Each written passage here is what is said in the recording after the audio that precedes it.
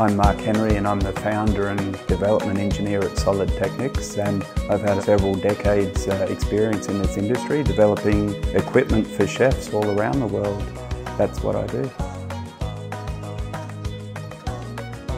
Way back in university when I developed the first Furi knife and uh, all the chefs said, well you've made a one-piece knife, why don't you do that with cookware?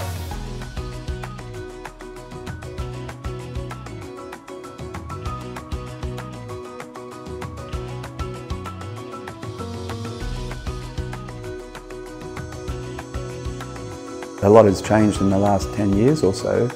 All the reports coming out, the independent scientists saying stay away from synthetic coatings.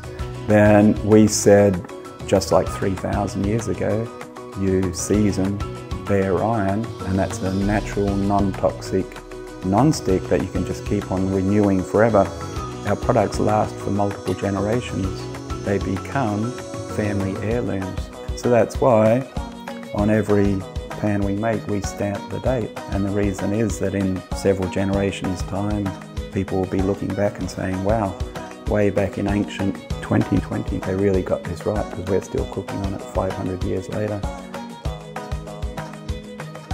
Yes, legacy for me is not monetary. It's leaving the spirit of manufacturing things that are more than just objects.